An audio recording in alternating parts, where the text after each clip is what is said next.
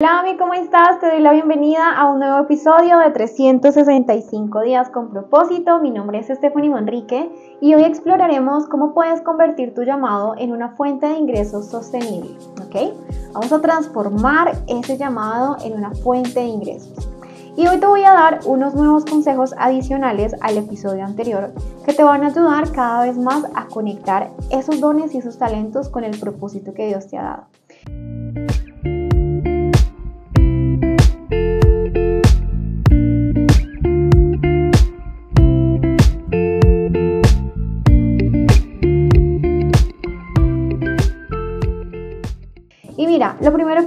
Necesitamos entender es que hay que definir tu propósito. Si tú no tienes claro quién eres, el por qué haces lo que haces, muy difícilmente vas a poder eh, centralizar una idea que aporte valor y que también sea una idea que tú puedas monetizar. Entonces, yo necesito que tú te respondas, ¿por qué quiero emprender? O sea, ¿qué, qué me está moviendo a mí a emprender? ¿Cuál es mi por qué? ¿Y por qué quiero hacer eso. Necesitas tener claridad sobre tu propósito, porque eso te va a ayudar a tomar decisiones alineadas. Mira, la palabra dice en Proverbios 29, 18 que donde no hay visión, el pueblo perece. Y tú necesitas tener visión, porque si Dios te ha puesto a ti también como una líder, tú eres la que tiene que tener clara cuál es el asunto para saber liderar a los que vienen detrás de ti. Entonces, tómate un momento para comenzar a escribir mi por qué. Puedes tener una hojita, puedes tener tu celular, lo que sea que Dios te permita tener en ese momento. Y escribe, ¿por qué quiero emprender? Uno, dos, tres, cuatro, cinco, todas las razones que tú tengas son razones válidas. Y mira que te vas a empezar a dar cuenta que todo, toda esa descarga mental, Dios la va a utilizar para, dar, para darte claridad, para mantenerte motivada y para mostrarte cuál es el plan que Él tiene para ti. Ahora, como paso número dos, necesito que no temas a ser creativa y que aprendas a solucionar problemas, ¿ok? Mira, fomentar la creatividad y ser una mujer solucionadora de problemas es vital para cualquier tipo de negocio y mucho más si tú vas a trabajar para Dios, porque estamos en este mundo para eso. O sea, estamos aquí para llevar el mensaje de Dios y si tú vas a trabajar para Dios, tú en vez de llevar problemas, tienes que también aprender a ser solucionadora de esos problemas. En vez de quejarte, tienes que aprender a agradecer muchas veces también. Entonces, necesito que te preguntes, ¿qué problemas enfrenta tu comunidad y cómo tú puedes ayudar a esa comunidad? La creatividad en este punto es clave para poder desarrollar soluciones únicas. Y un ejemplo práctico podría ser que para tú comenzar a, evidenciar que esa idea de negocio que tú tienes, en donde vas a llevar el mensaje de Jesús, pero al mismo tiempo tú quieres ofrecer un producto, un servicio, quieres ofrecer una mentoría, un coaching, lo que sea, pues lo puedas hacer por medio de un taller o por medio de una serie de videos que abordan esos problemas directamente y que te generen leads. ¿Qué son los leads? Pues sencillamente prospectos, personas calificadas, mis posibles clientes. Entonces considera este consejo. Así es como tú sencillamente puedes testear una idea para saber si se puede vender y si tiene audiencia. Un taller gratuito es maravilloso, o una serie de videos, o un curso gratuito, o un seminario, una asesoría, ¿me entiendes?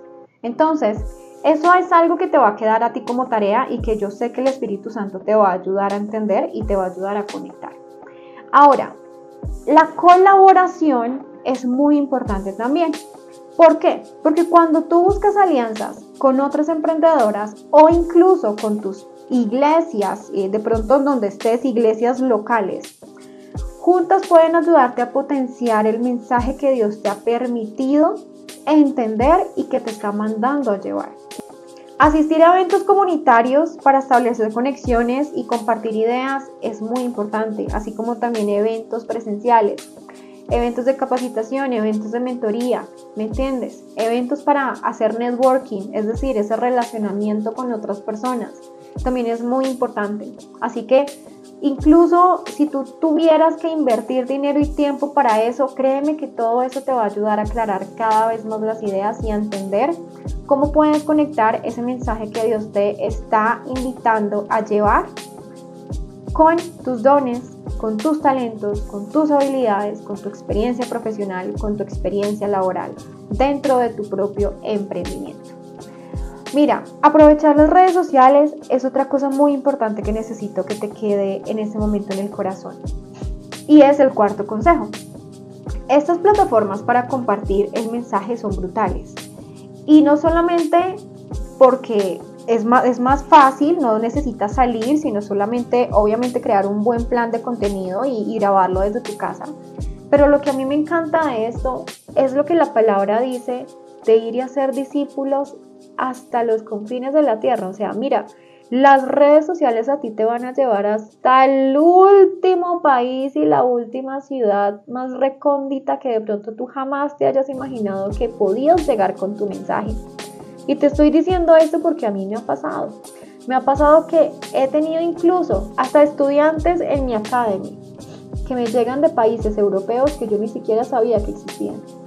Pero hasta allá llega el mensaje. ¿Por qué? porque para Dios no es imposible permitir que ese mensaje viaje hasta el corazón de la persona que lo necesita. Entonces, yo te invito para que tú seas muy juiciosa y crees un calendario de contenido para que mantengas la constancia en tus publicaciones. Y finalmente vamos a hablar de las metas realistas. El último consejo es este. Necesito que dividas tus objetivos en pasos alcanzables para evitar sentirte abrumada. Recuerda lo que dice Filipenses 1.6, el que comenzó en vosotros la buena obra, la perfeccionará. No se trata de que tú ya tengas todo listo desde este momento. Es que ya todo tiene que estar perfecto y todo tiene que estar listo. No, señora. Tú vas caminando en fe y el que comenzó en ti la buena obra la va a ir perfeccionando. Celebra cada pequeño logro en el camino. No lo subestimes, porque todos esos logros no los habías conseguido anteriormente. Así que hemos revisado cinco consejos claves para transformar tu llamado en ingreso. Define tu propósito, fomenta la creatividad, conecta con otras personas, aprovecha las redes sociales y establece metas realistas. Por ahora yo me despido y te invito para aplicar estos consejos y compartir tus experiencias con nuestra comunidad. Recuerda que en nuestra Academy Una Mamá con propósito tienes pruebas gratuitas de 7 días en todos nuestros programas para que tú aprendas gratuitamente y comiences a conseguir tus primeros resultados en eso que Dios te está llamando a hacer. Y luego, si después de conseguir esos resultados tú dices, yo me quiero seguir formando acá, pues puedes hacerlo inscribiéndote como una estudiante activa en nuestro programa. Nuestra página web la encuentras en la descripción, vas allí a la sección de programas y membresías y vas a poder hacer la activación. Te envío un abrazo súper gigante, que Dios te bendiga y tú y yo nos vemos en un siguiente episodio de 365 días con propósito. Chao, chao.